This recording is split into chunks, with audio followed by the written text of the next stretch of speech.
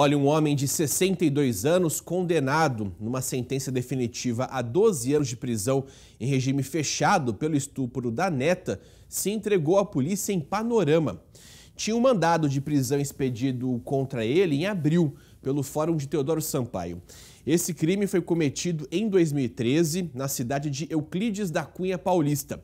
Ele irá passar por audiência de custódia ainda hoje e depois será transferido para uma unidade prisional.